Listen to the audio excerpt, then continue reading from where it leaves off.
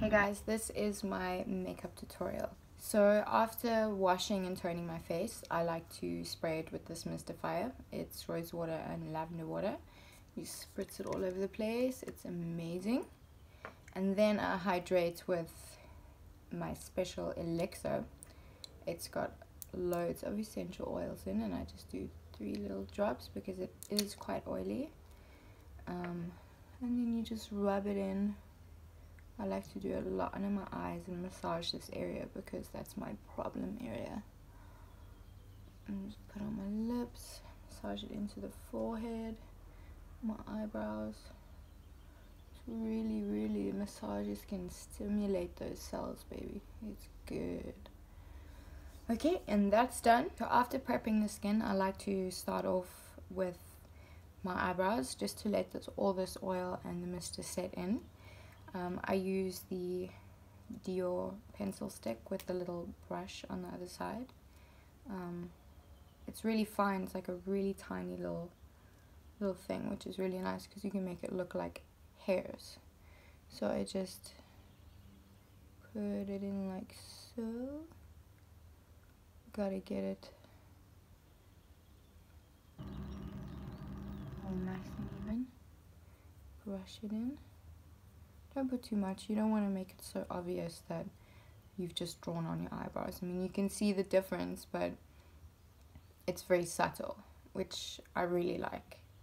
Now that my eyebrows are done, I move on to my under eye area, which is my problem area, like I said before. Um, I've got really dark circles and it's not fun. So what I use is a color corrector before I put on my concealer. This is an orange color corrector. It takes away blue pigment under the eyes. So what I do is I take a tiny bit like this because this is a very strong pigment. And I just put it over here like that and I blend it with my fingertip very lightly. So now I look like a funny orange raccoon, which is fine because we are going to cover it with this baby. This is my favorite. So this is the YSL and I just do, it looks like a lot when I do this. I like to take it all the way up here. It like highlights the area. Click it again, put it like that. I know it looks like a lot, but I blend it in quite nicely. It looks fucking weird, I know and I put some here because I've got a little bit of redness going on there. So basically this is what you're going to look like before everything's done. So I'm going to now rub it in with my fingertips. When it's cold I use like a beauty blender but honestly I, don't know where it is. I think my dog may have eaten it but whatever. Fingers work just as well because they are warm and it blends easier when fingers are warm just lightly pat it. Don't like really go at it. Otherwise it's just gonna come off. Take it down. A little triangle. Over there. Makeup is really not a beautiful thing to put on. Because the faces that you end up pulling are just ridiculous. Okay so you can see how much better that looks already. I don't look like a raccoon anymore. And now the next step is foundation. I don't like to use a lot of foundation because I have freckles. I like to see them. So I just do it to add a little bit of life to my skin tone. Because sometimes I wake up in the morning and I look like a zombie. And I know we all have those mornings. So I use the MAC.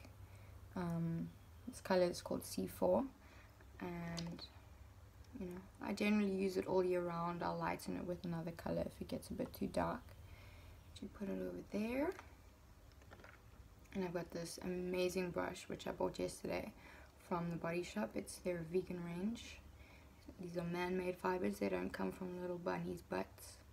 So I just put a little bit under my eyes here because obviously it's a lot wider than my face, on my chin. I get a little bit red here sometimes, um, especially when I'm hot. And you just blend, blend, blend, blend, blend.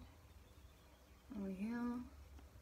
See what I mean about pulling faces it's not makeup's not a very attractive thing to put on especially when you're doing like eyeliner So you see I literally only use that little blob all over my face. It just adds like tiny bit of color and radiance to my skin and it's also really it's like a really runny base which is so nice. I don't like that thick stuff that just makes you look like a mannequin.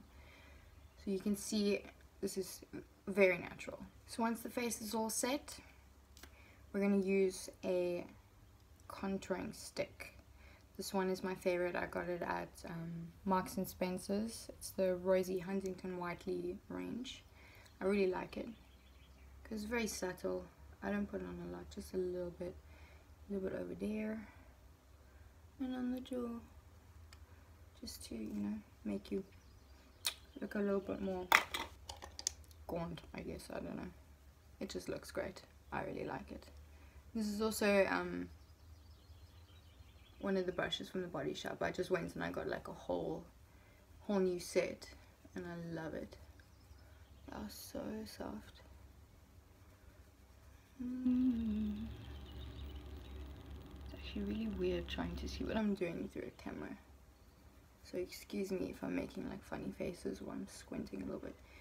So you can see also very subtle, but it makes a huge difference. But I love it. And now for the eyes, um, I use the same contouring stick which I used for my cheeks and around my face. I really like this color and I like creaminess. I don't really like powders on my face. So you just put a tiny bit on the brush. Just subtle, you don't want to overdo it. Like, you know, especially if it's just like a day-to-day -day look. Just a tiny bit is really nice. I really like it. Yeah, yeah. a little more on this side. Change up the brush so we can get underneath the eye, still the same. This is like a little tiny brush. It's so nice and it's really solid as well.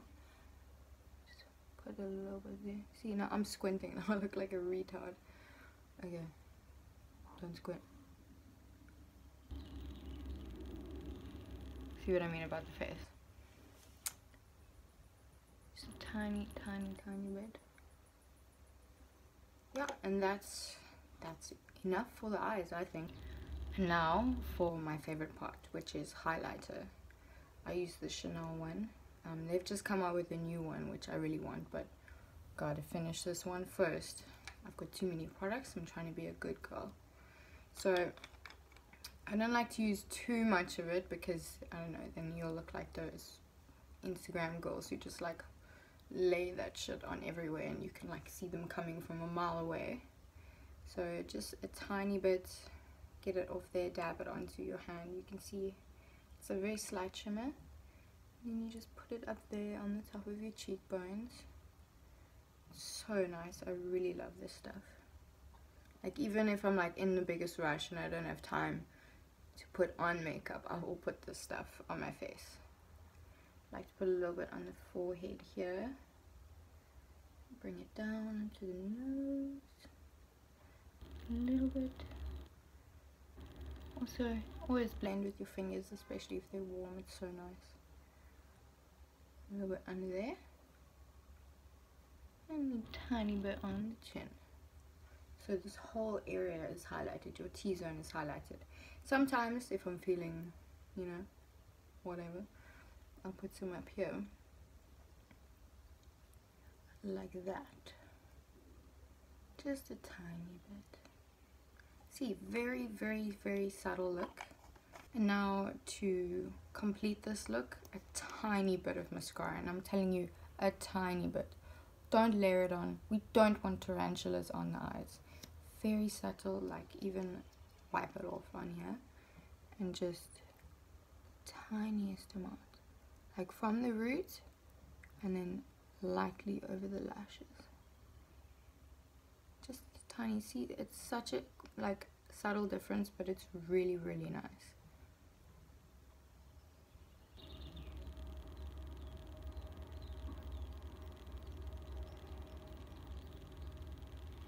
So for the very last step, I like to set my eyebrows with this little mascara brush and hairspray. So I just spray a little bit onto the thing and then very gently just brush it up and bring it down to get that like nice shape and it doesn't lose shape because I find when I sweat my eyebrows just kind of go whichever way they want to so this holds them into place. So it's great if you're going to like Bali or something and you can't wear any makeup there just you know do your eyebrows. For this natural look I mean you can go bold with an amazing lip but I don't really like wearing a lot of lipstick um, mostly because I have no idea how to keep it on. Like I've tried the whole like lip liner then the lipstick over it but for some reason it always comes off or goes onto my front teeth um, which is not great. So I just used this guy. This is by Elizabeth Arden it's their 8 hour range. And just take a little bit. It's got like a, a slight tint to it. It's really nice and it stays and it's super hydrating. It's my favorite and it comes in another color like a red wine color. Yeah. And that's it. This is how to achieve a natural look. I hope you guys enjoyed it and that you learned some good tips. And if you got any other questions please message me and i will put it onto my blog